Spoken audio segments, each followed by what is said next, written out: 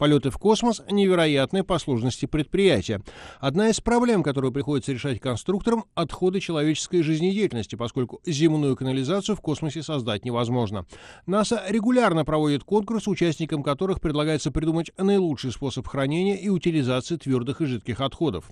Ныне сделан следующий шаг. Ученые из Университета Пенсильвании разработали систему, которую теоретически возможно будет использовать для дальних космических экспедиций, например, полета на Марс.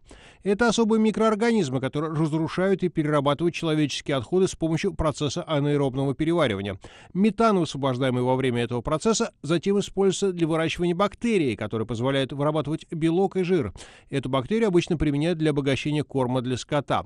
Таким образом, по меньшей мере теоретически возможно создать систему питания астронавтов на основе продуктов питания, созданных за счет производимых астронавтами отходов.